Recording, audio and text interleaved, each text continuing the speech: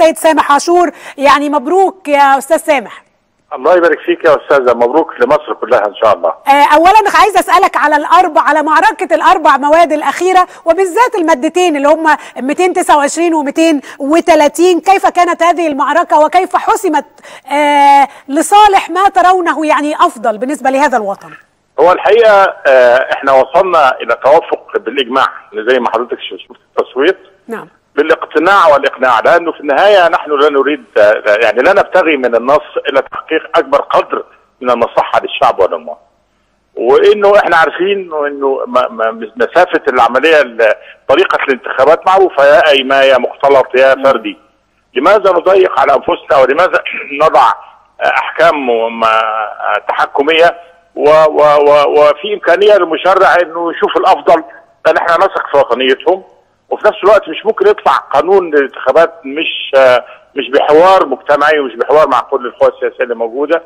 فقلنا نوفر رأينا للحوار القادم لأنه تبقى كل الخيارات مفتوحة. وده كان ما انتهينا إليه بشكل إجمالي وإجماعي. ده بالنسبة للنظام الانتخابي وماذا عن مادة آه، الرئيس اولا أم من مجلس النواب اولا؟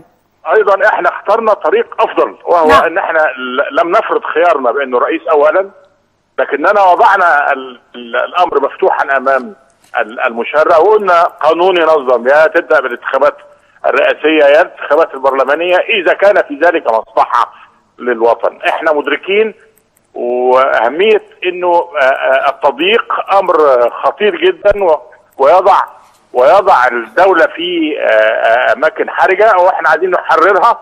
ففتحنا الطريق أمامه.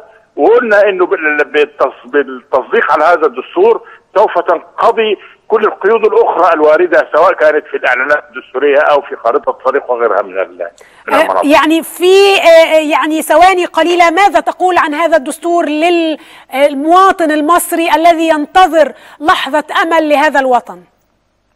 أنت تسأليني عن ابن ليا وهو هذا الدستور. لكن بقول بشكل قطعي. إنه هذا الدستور وإن كان لا يحقق كل أمان المصريين إنما يحقق اماني أغلب المصريين. نعم. و و و و وسوف يقبله أغلب المصريين. وبالتالي نحن لا نريد ونحن لا نتحكم ونحن لا نشترط أن يوافق عليه كل المصريين. لكن أن يكون بداية صحيحة لبناء وطن لكل المصريين يساهم في بناء وطننا وال- والعبور الجديد للدولة المدنية الديمقراطية الحديثة التي نسعى إلى تحقيقها نعم. بشكرك وبشكر مجهودك الكبير آه، سيادة النقيب سامح عاشور.